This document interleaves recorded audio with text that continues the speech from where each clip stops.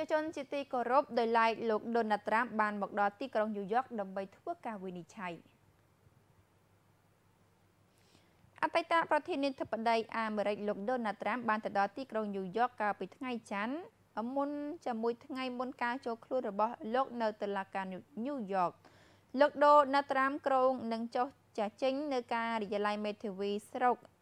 ម៉ាន់ហាតាន់នៅថ្ងៃអង្គារហើយទំនងជាត្រូវបានផ្តិតមេដៃមុនពេលបង្ហាញខ្លួននៅចំពោះមុខចៅក្រមសម្រាប់ការកាត់ក្តីដែលគិតថាខ្លួនមិនមានកំហុសលោកដូណាល់ត្រាំមានអាយុ76ឆ្នាំមកជាពីគណៈបកសាធារណរដ្ឋដែលចង់ទទួលបានតំណែងប្រធានាធិបតីឡើងវិញក្នុងឆ្នាំ2024គឺជាអតីតប្រធានាធិបតីអាមេរិកដំបូងគេដែលប្រឈមមុខនឹងការចាប់ប្រកាន់នៅជាព្រំអទណ្ឌ